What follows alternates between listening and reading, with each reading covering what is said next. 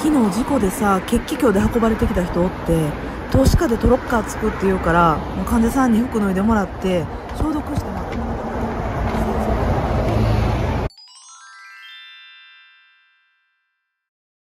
いや、スタバのさ、あの、桜のやつ私めっちゃ飲みたいねや。なんか白玉入ってるやつ。あ、出てたな、新しいの。桜系めっちゃ好きやから。わかるわかる。わ、最悪や。血出た。坂向きや、やばいってうわもった。痛そう。だ血出てるやん。ちょっと手先洗って。うん。これ貼っときあ、ありがとうん。はい。う。さすが看護師さんやな。持ってんや。いや、持ってる人は持ってるで。え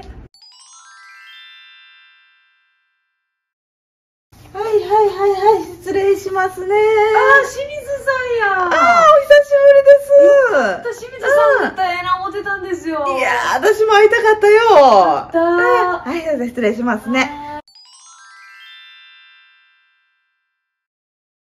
先輩、今日入院7名ですよ。えー、斜め7名。うわー、今日ちょっと忙しになりそうやな。やばいっすよね。あ、そういえば昨日から夏休みか。